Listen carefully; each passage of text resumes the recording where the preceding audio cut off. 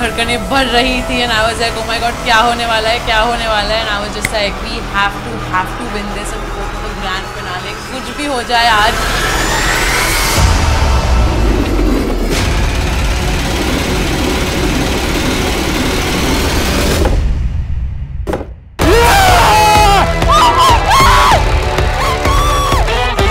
Oh god! The way that blade came down and our rope got cut और हम भागे एक दूसरे की तरफ़।